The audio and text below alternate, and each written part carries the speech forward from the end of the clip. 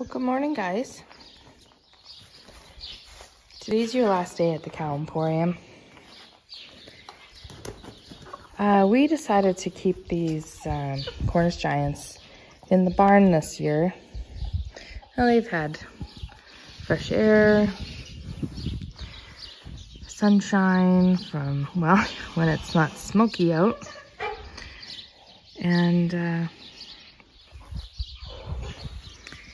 they've got they've got it pretty good in here. We've kept their bedding fresh to try and keep their bellies from getting too dirty.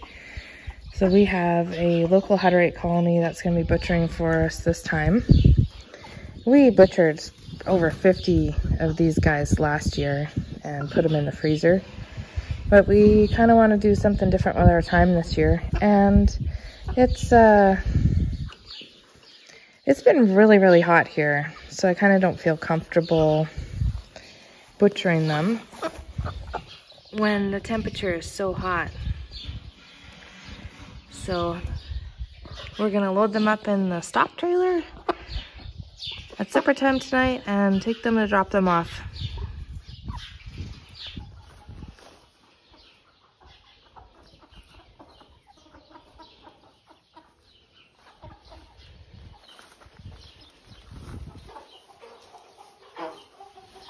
You're the only chicken left in there, Glenn. Yeah, just. Ah. Okay, well, I couldn't film because that was too much. But they're all in the stock trailer. And I know they're probably a little stressed, but they're together, so that's less stressful for them. Okay, so that was hot and sweaty. We have, I don't know, I'm using my phone so I can't tell the time because who wears a watch anymore? Uh, we have about half an hour before we gotta head out with them, so I'm gonna go grab a drink of water and uh, my sunglasses.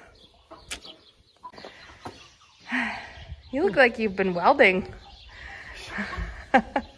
Yeah, it felt like you've been welding. I don't know, I might not be able to move my legs tomorrow after squatting that long, but anyway.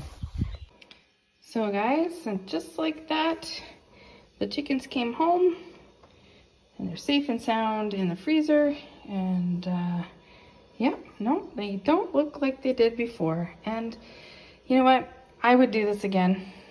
I know it makes them a little bit more expensive, but we're still saving money because we grew them ourselves.